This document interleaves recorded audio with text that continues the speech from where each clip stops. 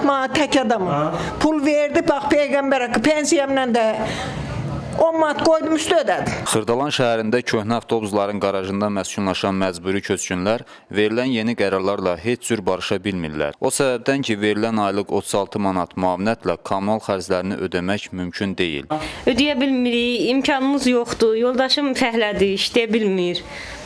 İndi bizə də nə qədər pul yazılıbdı, biz də onu ödəyə bilmirik. Nə qədər gəlib çıxdı? 100 neçə manat puldur. İndi bizdə nə qədər uşaqdır. Bunların hamısı xəstədir. Həkimə gedirik, dərman yazır, o yan bu yan. Onun hamısı da imkansızlıqdır da hamısı. İndi heç harda özüm də işləmirəm ki, yenə Çörə pulları yox. da heç birinə pul ver. İki uşağıma verilmir, bir böyük qıza verilir, hə. Onu da indi kəsdilər, heç limit verirdilər, yəni onunla biz dolanırdıq. İndi onu da kəsdilər. Limit geri qayıtsın təbii ki, istəyərik. Hökumətin limitini elə bir yandırılsın, ödəyirdi. Yazırdı borcunuz yoxdur. İndi də vallahi yağış yağıb, tıfaylar islanıb, plətəni qoyuruq ki, qurusun. Tayda plətə yanır, çoxlu işıq yazır. Mən nə deyim, mən demirəm ha bunu yazan maaşər atır ya məsələ ə, artıq yazır. Yox. Odur ki, elə bizi bir yaxşı yerə köçsün qadanım. Bax işığımın da pulunu verim, qazımın da pulunu verim, suyumun da pulunu verim. Hökumətə canla başından qurban olum. Bəzi məcburi köçkünlər isə keçən ay həddindən artıq çox elektrik haqqının gəldiyini bildirdilər. 80 manat bir aya heç zətdə yandım axşam.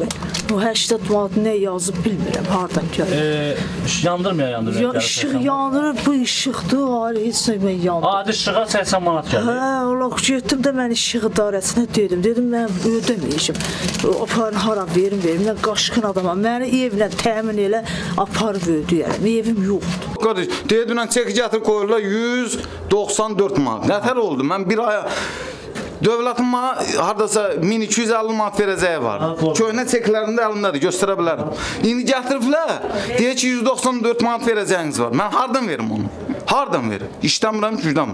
Neyini? Elə ay bay 20 manatımızı versin o sürə pulum. O limitdə qalsın yerində. O dövlət onu oradan çıxır onsu da. Həmçinin qarajda məskunlaşan köçkünlər şəraitsizlikdən şikayətlənərək qaz, işıq və suyun daha çox istifadə edilməsinin səbəbini bir növ bunda gördüklərini dedilər. Qazımız olsun. Uşaq iki uşaqdır xəstə, yoldaşım özü xəstədir. Bax bu vəziyyətdəyik qurana. Sıçanmış bizi qırır. Üstüme düşürdü. Bir oğlana dedim onu elə var gelmesin beri. Antrenzadı burada hamısı yer kırıktı. Haradı gayri parar. Hala. Bak bak bak İndi bak. televizyona da baxa bilmirsən. Yok hiç şey hiç şey. Bu daha bu demiri de yanana. Bu bıraksın burada geçin biledir. Bu da şükür olur. Siz yine insaflı balasınız. Bakın görün vaziyetimi.